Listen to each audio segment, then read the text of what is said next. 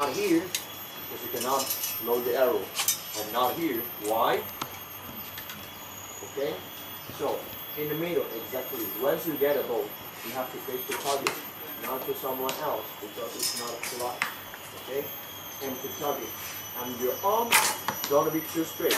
Relax your arm, relax your shoulder.